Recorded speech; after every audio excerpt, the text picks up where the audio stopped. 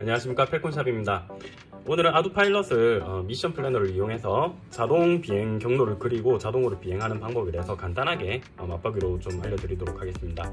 어, 연결하는 방법은 텔레메트리를 이용해서 무선으로 연결을 하는 방법도 있고 아니면 USB 선을 이용해서 유선으로 연결을 해서 하는 방법도 있는데 유선으로 연결을 해서 어, 어, 픽소크에다가 미션을 내용을 저장을 해서 나중에 이제 실제 필드에서는 유선에서 저장한 내용 그대로 그냥 비행을 할 수도 있고요. 텔레메트리를 사용을 한다면은 이제 필드에 나가서 무선으로 그자 리에서 바로 생성을 한다거나 그렇게 할 수도 있겠죠. 일단 저는 지금 USB로 연결을 해놨고요. 미션 플래너에서 연결을 합니다. 자 일단 연결이 제대로 됐는지를 확인하기 위해서 기체를 이렇게 기울여 보면은 화면에 움직이는 게 보이면 연결이 제대로 된 거고요. 비행 계획 쪽에 들어갑니다. 비행 계획 쪽에 들어가면은 지금 현재 어, 저희 지도가 이렇게 나오고 지도 같은 경우는 우측에 보시면은 여기 기본적으로 구글 하이브리드 맵이 되어 있는데 이거를 다른 걸로 이렇게 변경을 할 수도 있습니다. 보시고 좋은 걸로 적당히 골라 보시면 되겠습니다. 저는 그냥 구글 하이브리드 맵을 쓰도록 할게요. 자 기본적으로 여기에 H라고 적혀 있는 부분이 있는데 이거는 홈 포지션입니다. 저는 지금 홈 포지션이 잡혀 있는 상태이기 때문에 H가 이렇게 뜨는데 홈 포지션이 안 잡혀 있을 수도 있습니다. 그러면 H라는 이 표시가 안 뜨는데 뭐 처음에 시동을 걸면 시동 건 위치가 원래 홈 포지션이 되기 때문에 크게 지금 당장은 미션을 만들 때는 신경을 안 쓰셔도 됩니다. 일단 미션을 만드는 방법은 간단합니다. 여기 밑에 보시면은 화면 밑에 보시면 이렇게 목록이 쭉 나오는데 여기에 하나씩 하나씩 추가를 하게 되는 거예요 아래 추가 버튼을 누르면은 이렇게 waypoint 1번이 하나가 생기게 되는 거죠. 첫 번째는 waypoint라고 되어 있는데 일단 제일 처음에는 항상 들어가야 되는 게 waypoint가 아니고 목록 중에 보시면은 takeoff가 있습니다. takeoff가 26이죠. 제일 처음에는 일단 26이 들어가야 됩니다. 그리고 여기 Alt라고 적혀 있는 거 100이라고 되어 있는데 이거 100m 얘기하는 겁니다. 그러면 100m 높이로 이륙을 하게 되는 건데 처음이기 때문에 저는 6m 정도로 설정을 할게요. 그 다음에 이제 미션 코스를 그리면 되는 거죠. 여기 화면상에 빈 부분을 이렇게 누르면은 코스가 그려집니다. 지금 2번 하면서 waypoint, 예, 2번의 waypoint 이렇게 하나 생겼죠. 여기도 쭉 보시면은 위도, 위도와 경도가 이런 식으로 뜨고 Alt가 또 100이라고 돼 있는데 이것도 마찬가지로 높입니다. 6m 그대로 유지를 하겠습니다. 그리고 또 클릭하고 또 클릭하고 이런 식으로 클릭 클릭 할 때마다 waypoint가 하나씩 추가가 되는 겁니다. 추가되어 있는 waypoint들이 1, 2, 3, 4, 5, 6, 7 이런 식으로 추가가 되죠. 높이가 전부 다 지금 100m로 기본값으로 설정이 되기 때문에 저는 전부 다 6m로 설정을 하겠습니다.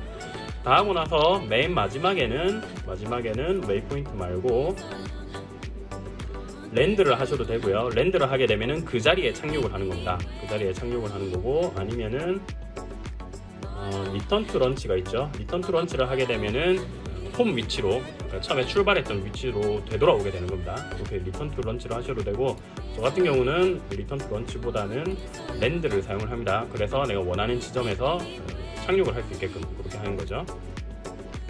자, 이게 일단 기본적으로 할 수 있는 제일 간단한 방법이고 아주 자세한 내용 같은 경우는 이 책에 아주 잘 나와 있습니다. 픽스호크 드론의 정석 책에 보시면은 뒷부분에 여기 보시면은 mission planning이라고 해가지고 어, 244페이지네요. 여기서부터 상세하게 각각의 메뉴가 뭐 어떤 식으로 되고 뭐 높이 지정을 어떻게 하고 코스 지정 어떻게 하고 책에 아주 상세하게 나와 있기 때문에 책을 구매를 하셔서 보시는 것을 권장을 드립니다.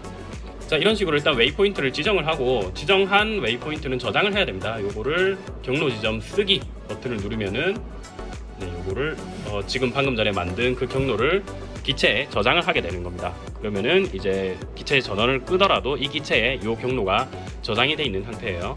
만약에 기체에 저장돼 있는 것을 불러오시려면은 일단 현재 저장되어 있는 것들을 전부 다 지워볼게요. 여기 X 버튼 요걸 누르면 경로들을 삭제를 할 수가 있습니다.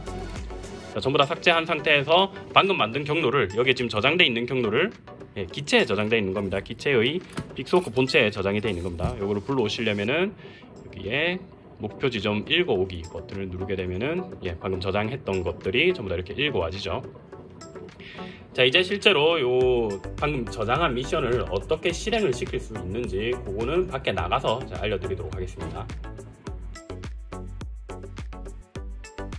자동 미션을 실행을 하는 방법을 두 가지를 알려드릴게요. 먼저 조종기로 실행을 하는 방법입니다. 지금 제 조종기에는 어, 모드 스위치가 이렇게 할당이 되어 있어요. 제일 위로 올리면 loiter 모드, 중간에가 alt hold, 그리고 제일 위로 올렸을 때는 어, auto 모드로 그렇게 할당이 되어 있고 미션 자체는 지금 게임 컨트롤러에 어, Mission Planner를 이용해서 입력을 해놓은 상태입니다. 미션은 이 제자리에서 이렇게 M자를 그리며 한 바퀴 돌아올 수 있도록 이렇게 미션을 입력을 해놓을 수 있고요.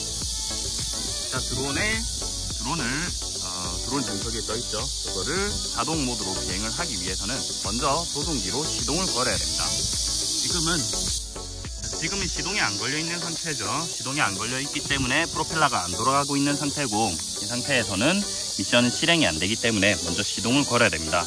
어, 저는 지금 모드 1을 사용을 하고 있고요.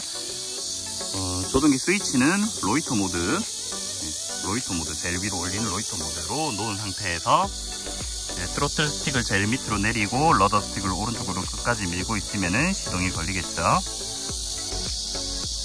자, 시동이 걸렸죠. 시동이 걸리고 나면은 스틱에서 손을 놓고 트로틀 스틱은 약간 올려놓은 상태에서요. 저는 지금 양쪽 텐션이라서 트로틀 스틱 이렇게 가운데로 올라오죠. 이제 조종기의 네, 모드 스위치를 auto로 놓게 되면은 자동으로 비행을 시작을 합니다.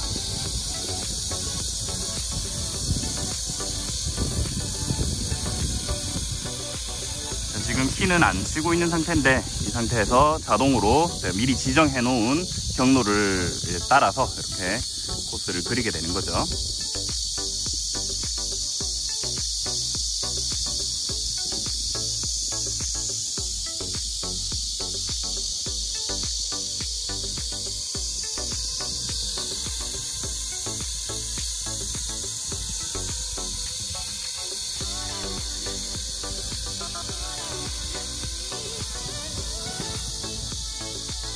자, 이게 첫 번째 방법이고요.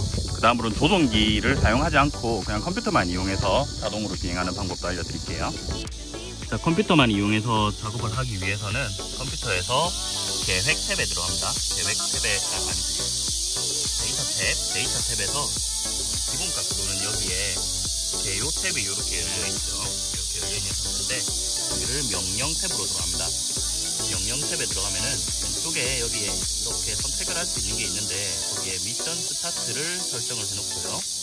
자 이제 실행 버튼을 눌러줍니다. 실행 버튼을 누르면은 뭐 실행할 거냐 물어보죠. 그래서 yes를 누르면은 아직은 실행이 안 돼요. 왜냐하면 지금 시동이 안 걸려 있는 상태이기 때문에 미션은 실행이 됐지만은 실제로 작동을 하진 않고요. 이제 시동을 걸면 됩니다. 여기에서 보시면은 시동 종료라는 버튼이 있죠. 시동 종료 버튼을 눌러서 어, 시동을 걸 거냐.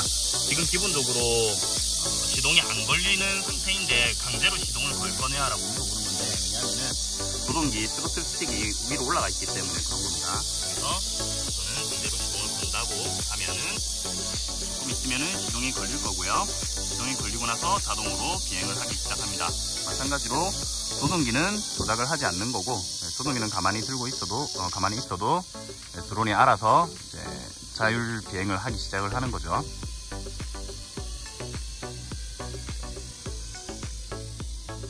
보시면은 화면상에 드론이 지금 어느 위치로 비행을 하고 있는지 이런 경로들도 실시간으로 볼 수가 있습니다. 물론 텔레메트리가 있어야 이게 할 수가 있는 겁니다.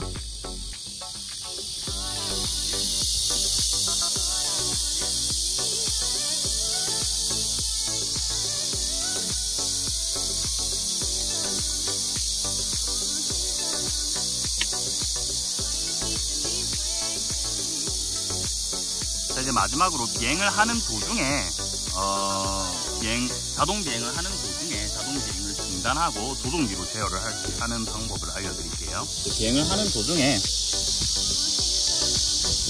자동으로 비행을 하고 있는 중이에요. 비행을 하고 있는 도중에 어, 내가 조종기로 다시 조작을 하고 싶을 때 하는지 알려드릴게요. 드론도 보이었으면 좋겠는데 돌리지 말고 화면을 돌리지 말고 안 나와? 자 이렇게 날고 있는 도중에 지금은 어, auto 모드이기 때문에 내가 조종기를 이렇게 조작을 해도 드론이 움직이질 않아요. 말을 안 듣습니다. 그런데 내가 드론을 조종을 하고 싶으면은 아까 전에 이 스위치 모드 스위치를 중간에 있는 예, alt hold로 바꾸게 됩니다. alt hold로 바꾸게 되면은 이제부터는 다시 내가 드론을 조종을 할 수가 있습니다. 그러니까 자동 제어가 풀린다는 거죠. Alt Hold로 한번 놓고 나서 Alt Hold 상태에서는 바람이 불면 이제 드론이 자꾸 날아가 버리기 때문에 비행을 하기가 어렵죠 이거를 Loiter 모드로 바꾸게 되면은 바람이 불어도 그 자리에 이제 가만히 떠 있게 됩니다. 이제는 네, 수동으로 제어가 되기 때문에 수동으로 제어를 해서 드론을 착륙을 시키든 원하는 위치로 이동을 하던 이렇게 할 수가 있습니다. 자, 하다가 다시 자동 모드로 놓고 싶으면은 어, 스위치를 다시 Auto 모드로 놓으면 됩니다. 그러면은 방금 전에 수행을 하던 작업을 마저 마무리를 하게 됩니다. 저는 지금 착륙을 하는 도중에 어, 수동으로 돌렸었기 때문에 이제 다시 착륙을 마저 마무리를 하고 있는 단계입니다.